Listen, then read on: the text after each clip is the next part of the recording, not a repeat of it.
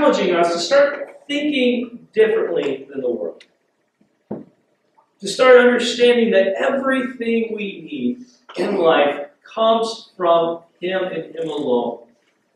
That every good thing comes from the Father above. And so he, he taught that, and then he transitions and begins teaching um, on how God loves us, but how to love our enemies. This morning's title is called Unlovable How God Loves You and How to Love Your Enemies. So, how many of you like lovable things in your life? How many of you, what are some things that you just find just so lovable? You just, yes, what's something that's lovable? What? My dog. Your dog? So, dogs, puppies, how many like a puppy or a kitten? Yeah. Few people, some of you don't, some of you are like, I hate them and I'm allergic to them. That's okay. You have other, what's some other things that you find really lovable? Your baby who loves a sweet little baby, just like your little chunky legs and their cheeks. They're lovable. My residents. Your residents, people you care for. God's given you that, that grace. You just love these people that God's put in your care. It's amazing how people who got put can sometimes become like children to us. We, we care for them. Anyone else? What is something you just find lovable? I, I tell you what really warms my heart. When I see a brand new motorcycle and that's, the gleam of the sun on, the, on, the, on the tank and, and the smell of the exhaust and the rev of the engine, it just it's so lovable. I mean, just a good uh, a Ducati or something, just so lovable. Uh, anyone else with me? No? Okay. All right, well, at least maybe. Some of you, uh, it's easy to understand there's things in life that are lovable. You know, and why are they lovable to us? There's, there's, a, there's a level of, of something we're getting from them, aren't we? It makes it so lovable. There's, there's just something sweet, there's something good. Generally, when we say that something is lovable, what we're saying is it deserves our affection. It deserves our attention. The people we care for, we ah, they for whatever they deserve love, they deserve attention, and so we, we want to love them. Little puppies and kittens, they're just so fluffy and innocent. They're innocent. Innocence deserves love, right? Some of you say, well, just let those kids get a little bit bigger. They're not so innocent after that. But they're still lovable. But they're still lovable. Mm-hmm. There's times that, how many of you have lovable things in your life that became a little harder to love? We have a 105 pound, nine month old puppy in our house. She started out very cute. She's still gorgeous. But when she starts chewing your shoes or, or, or just can now destroy a whole cow leg, you can imagine the damage this lovable creature can do.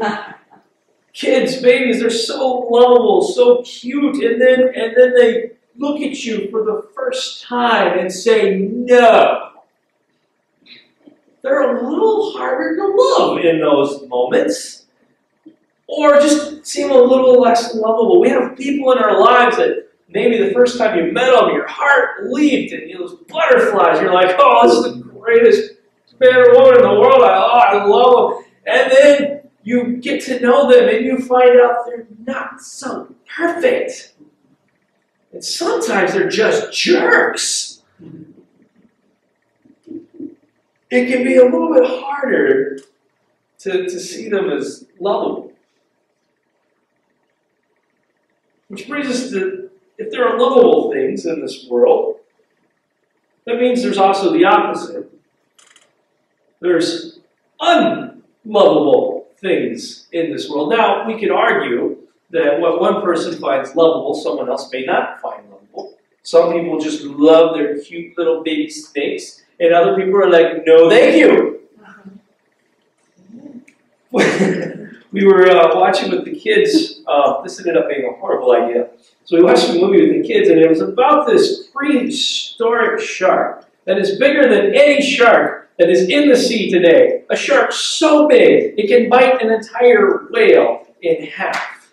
Now, this shark, halfway through the movie, becomes very unlovable because it is a big, hungry monster. And my son, who's a little sensitive, began started crying. And he's angry at the people who produced this movie, saying they are ruining the ocean for everyone. that shark was not very lovable. It was not innocent in, in uh, the eyes of the people that it was trying to eat. So killer prehistoric sharks, maybe, maybe farther on the unlovable side. What are some things that we find unlovable sometimes? Slow car in front of me. Slow car in front of you. Yes, it can sometimes be as, as something as benign as, as, as people getting in our way. Who loves that? Slow traffic, things not going my way. Oh, Noisy motorcycle. Noisy motorcycles. You will be my first stop, brother, if I got this brand new vehicle. Our big idea this morning that we're looking at is unconditional love is giving others what they need the most, even if they deserve it the least. That is how Jesus calls us to love the unlovable, to love our enemies. So there's things that are definitely unlovable in this world. Acts of terrorism, violence, abuse of all kinds. There's things in this world that are unlovable things. There are people in this world, let's be honest, have not done very much to help themselves be lovable. For whatever reason, maybe they were harmed or damaged themselves. But the reality is that there are lovable things in this world that we love to love. We love to love these things. And then there are things in this world that it is a fight and it is a struggle to have compassion and to care about these things. How many of you can understand why it took the rest of the church a little bit of time, the rest of the apostles some time to welcome Paul, who had previously been called Saul? If you don't know uh, Paul, the Apostle Paul, who wrote most of the New Testament, before he had his encounter with Jesus and was blinded by a light, knocked off a horse, and, and, and blinded, had this encounter, and Jesus said, Paul, why are you, or Saul, why are you persecuting me? And God changed his life and brought, there's a reason why other people didn't like him. He killed him. He had been overseeing, he had been holding the coats so that other people could kill Christians. How many of you would have had a little hard time loving Saul if you had seen him at that point? If you knew this about him and he showed up to your church, showed up to your synagogue or whatever that next day or whatever you were meeting, how many would be a little suspicious and a little worried?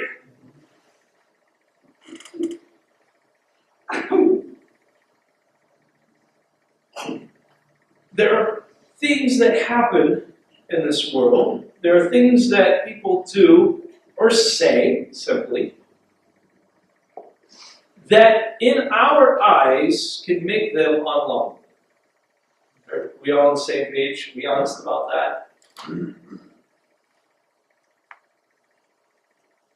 And so to that, Jesus says this in Luke chapter 6, verse 27 through 36. What's amazing is as he's teaching this, there are people in this group that hate Jesus. There are people in the group, the Pharisees, that we keep seeing over and over, trying to trip him up and trying to get him arrested. They are listening to him teach this message. Talk about having to practice what you preach. Verse 27. But to you who are willing to listen, I say, love your enemies, do good to those who hate you, bless those who curse you, pray for those who hurt you.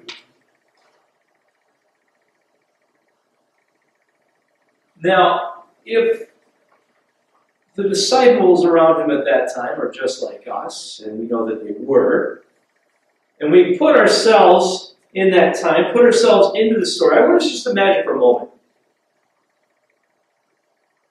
You've never heard this before.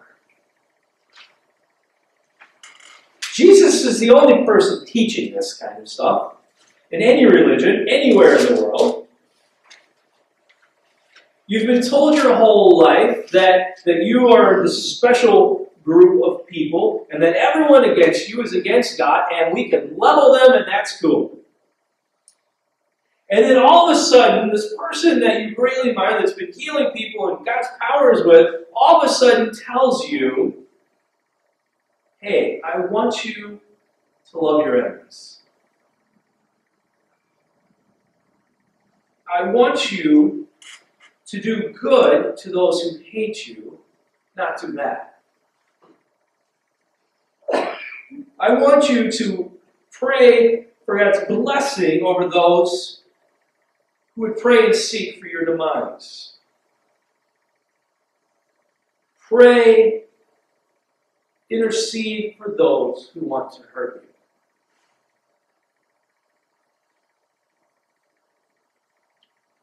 if we're honest, we might begin to wrestle with is this the person we want to follow?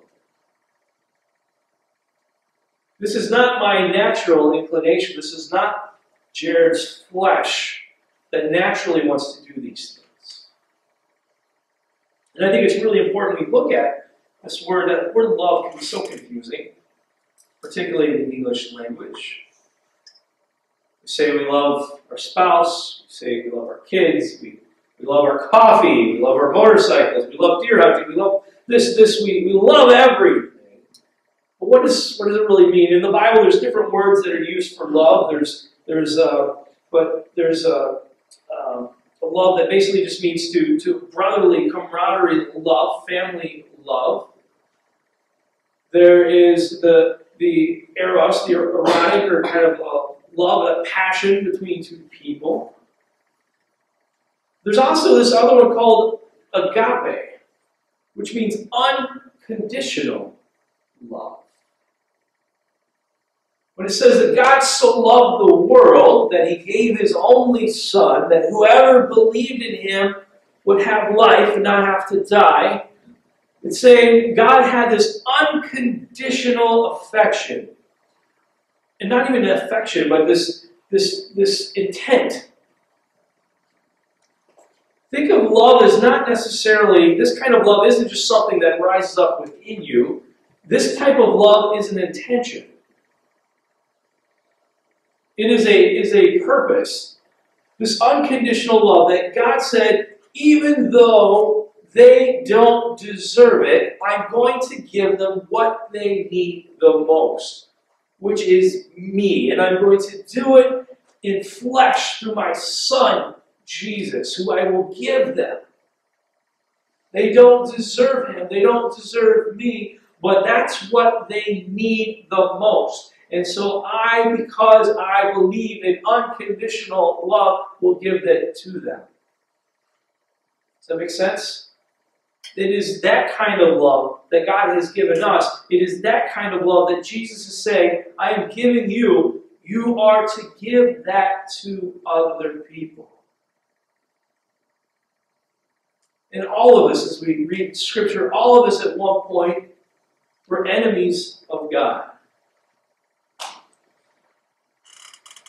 All of us at different point have been rebellious and, and have wanted to do the opposite of what God wants done.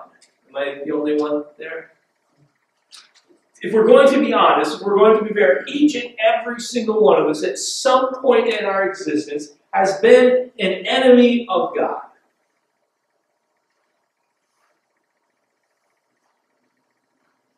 and yet He loved us. He had an intent to give us what we needed the most, even when we deserved it the least. He did good towards us even when we hated Him.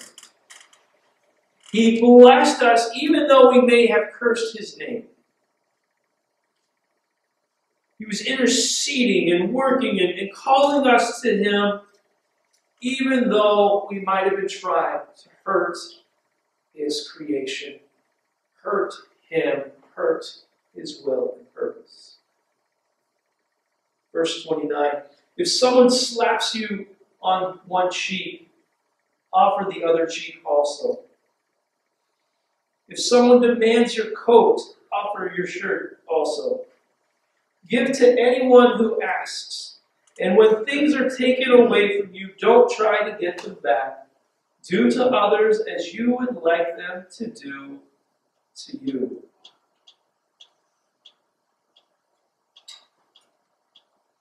A little context, and particularly in that culture, one of the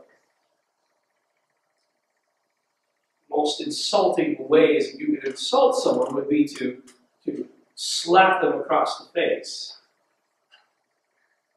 If you really want to insult someone, you took your sandal off and you threw your shoe at them, or you hold your shoe over their head, saying basically, You are beneath the junk on the bottom of my shoe.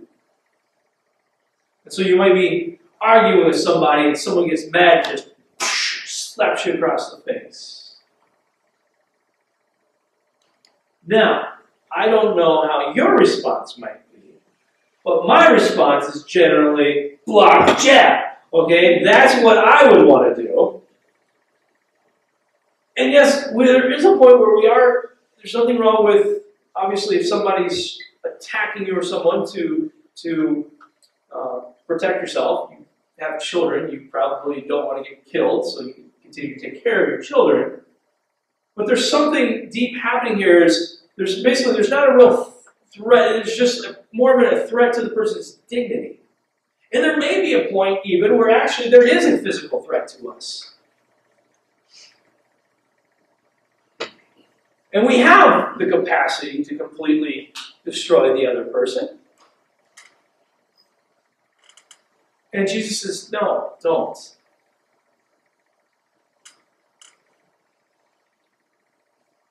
Someone slaps you on the cheek, offer the other cheek also. If someone insults you, rather than insulting them back, what would it look like if you said, you need to hit me again, here.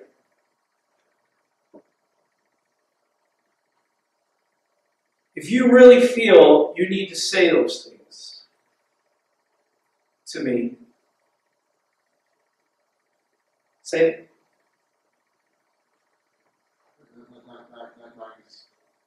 Yeah, that's a much better way to respond. Rather than it's returning insult for insult. That's our natural response, isn't it? Or to fire back with a yow butt. Christians, we, even Christians, we have big butts. We have big yow butts. And they'll say something to us, and we'll say, oh yeah, well, how about this? There's this little term in, in communication called spike talk. And if you've been in a couples communication class or counseling, um, or you've had communication classes, there's this thing called spike talking. I was really, really good at it. Really good at it as a young man. No one had to teach me. It was just natural gifting, I guess. And I had a way of, of, of, my mom would say something and trying to correct or steer me, and whether she was right or not wrong, that, that's, that's beside the point. The point is, I would respond in a certain way. Now, I wasn't swearing at my mother, I wasn't yelling at my mother, but I would say things that weren't bad, but I would say them in such a way that it just put a little knife in a mother's heart and twisted it.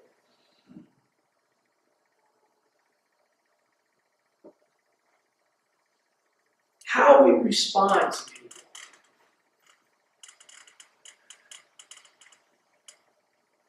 Is how we love or don't love people. Someone may not deserve to get a kind word in response to their attack to us. But it's not about what they deserve. That's one of the hardest things to, to get in our heads about following Jesus. Is Jesus is not so concerned about us helping other people get what they deserve. The kingdom of God is about helping people acquire what they don't deserve. What none of us have deserved. So if someone insults you, they slap you on the cheek, offer the other cheek also. If someone demands your coat, offer your shirt also. People are broken and they have needs. And people will sometimes try to meet those needs in very unhealthy ways. They might be jealous. They've got a better coat than I've got. You're just talking to someone, they're like, boy, it must be nice to be able to afford a coat like that. Never mind, you save three years worth of birthday money because you don't have any money.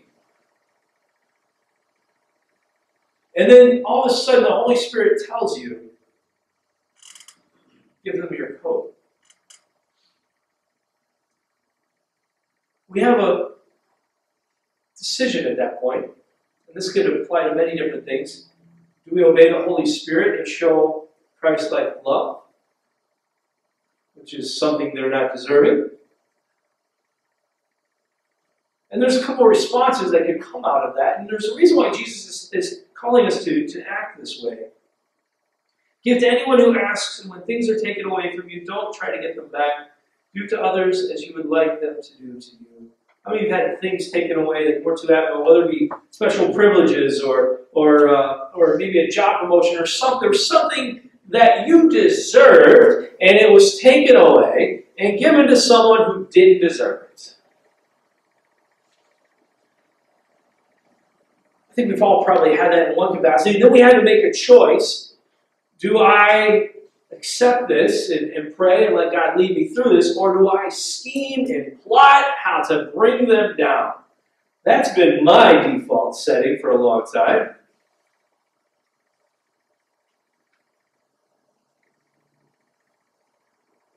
How are we responding? Now, when we do that, there's a couple ways people, people might respond. One, they're going to be shocked, most likely. They're going to be shocked. What? What? Now, just to prepare you, if God tells you to do something like that, let's say you've got that, that beautiful coat, uh, in case you like animals, we'll say it's a non fur coat, and uh, it's just this beautiful coat, and somebody giving you the business over it, and you can tell there's some jealousy there. You can tell there's, for some reason, there's something in their life, maybe they don't have a, a nice coat or whatever this story is in your mind. And God says, give it to them, and you do.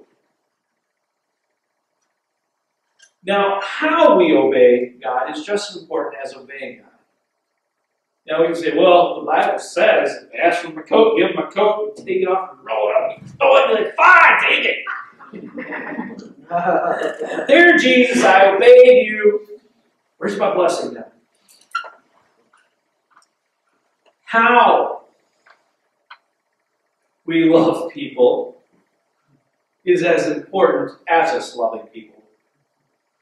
See, giving your coat, that is an act of agape, an act of unconditional love. Giving them what they needed, in that case, what they thought they needed, even though they didn't deserve it.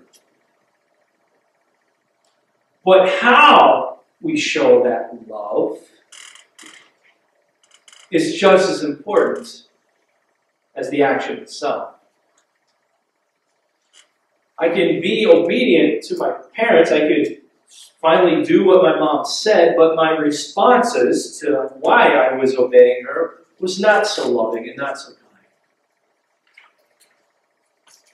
Now imagine instead of just taking off, it up, throwing out, say, there, how do you feel now? What if instead we look at them with compassion and say, you know what? how I got this coat, that doesn't matter. What matters is something's bothering you. And I don't want this to be between us. And obviously, maybe you just you need a coat, so I just want to give this to you. I feel God wants you to have this. And you take it off and you very gently present it to them. A couple things could happen, just to warn you. One, they might start crying and take your coat. They might get mad at you, but still take your coat. And they may even break down and say, you know what, it's not about the coat. You keep your coat. Let me tell you what I really need. And then you get to have a conversation about the brokenness, about how somebody else took something from them. And you get to share Jesus, and you get to share healing, you get to share restoration with them. We are called to give people what they need, even if they don't deserve it, because that opens the door for us to give them Jesus, which they need, even if they don't deserve it. Verse 32. If you love only those who love you, why should you get credit for that? Even sinners love those who love them. And if you do good only to those who do good to you, why should you get credit? Even sinners do that much. And if you lend money only to those who can repay you, why should you get credit? Kind of funny, like lending money to someone who already has money to pay it back.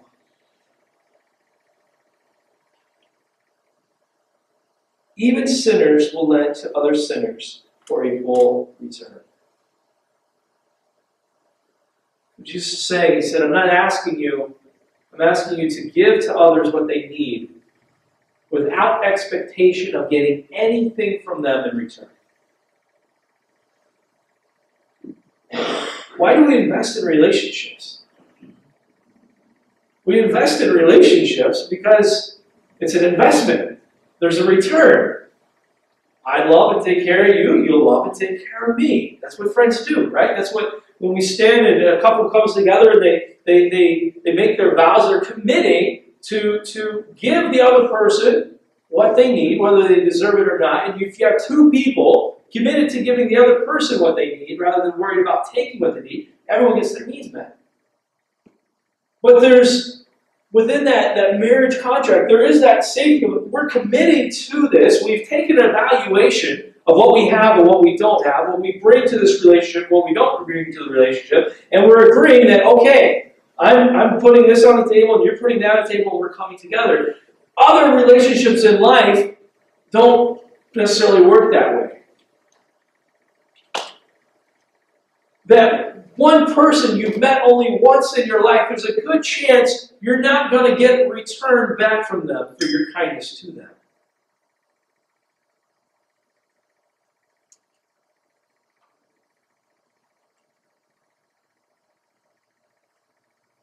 Jesus is wanting us to give without expectation of return.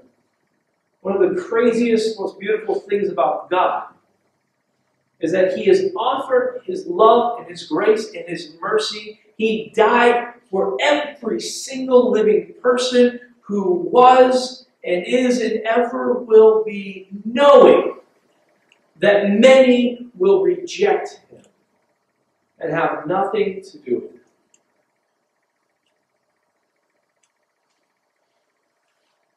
He invested, He gave everything to us without the guarantee, we have free will whether or not we would accept him or not.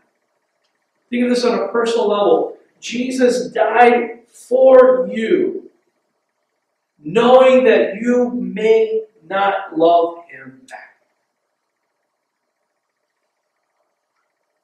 Now, as we dwell on that, it makes us love him even more, doesn't it? It makes us in awe of His grace and His mercy even more. We are to do without expectation of return from the other person.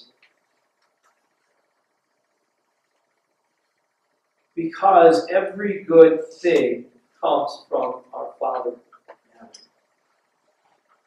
Everything we need comes from Him. We don't need affirmation from the other person. We don't need recognition of our good works from the other person. We don't need a thank you from the other person. We simply need the love and, and, and the care from our Father. And I guarantee you, when you walk in obedience to what God is calling you to, however the other person's response, when we stop and we get with our Father, you will feel our Father smile upon you. You will feel the heart of God that is happy that you shared His love, and your blessings and your benefit will be beyond what you could have expected from any individual person. Verse 35 Love your enemies, do good to them, lend to them without expecting to be repaid. Then your reward from heaven will be very great, and you will truly be acting as children of the Most High. For he is kind to those who are unthankful and wicked. Man, that's a rough verse. God is kind to those who are unthankful and wicked.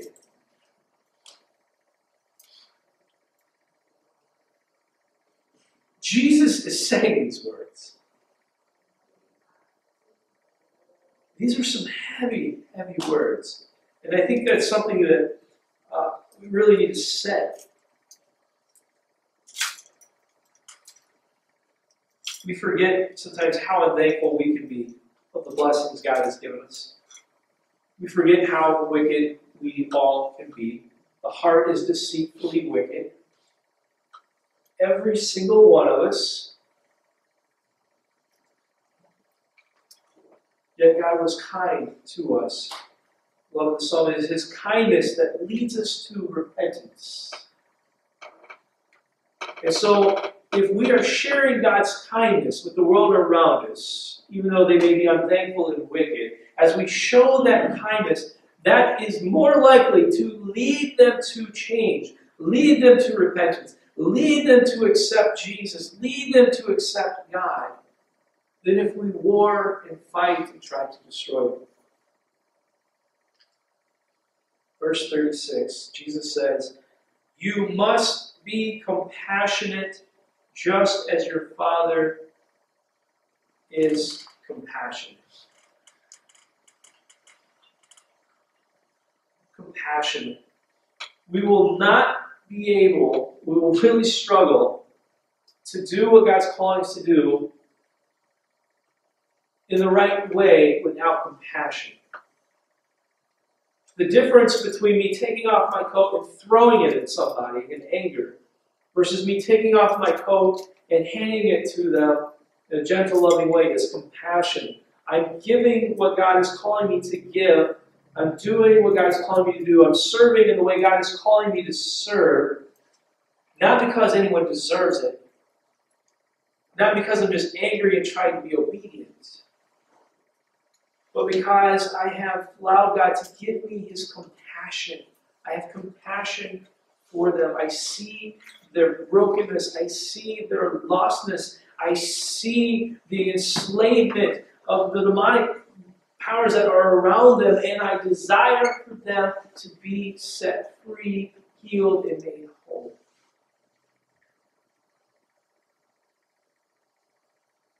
So, in conclusion this morning, some questions that we can ask ourselves, and I want us to go back and just read through this again this week and let God speak to us. One, who is my enemy? Who is my enemy? Someone say, well, I don't have any anyways. Who do we consider an enemy?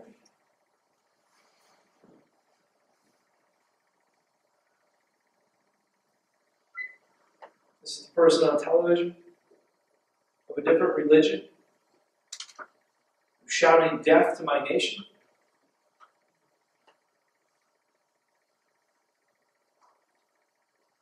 Is my enemy someone who belongs to a different political party? I feel that their values are trying to destroy my own culture. Is my enemy an ex wife or husband? Is it a current wife or husband? My enemy a coworker?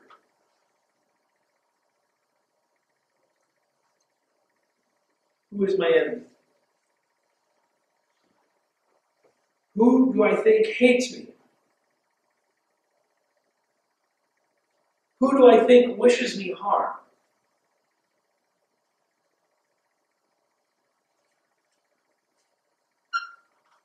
Who has hurt me, either intentionally or accidentally in my life? Just because there's not a current threat does not mean we don't see someone as an enemy.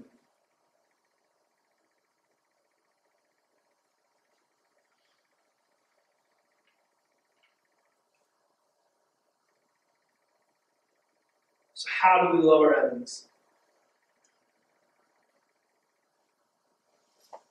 We ask this question What does that person need?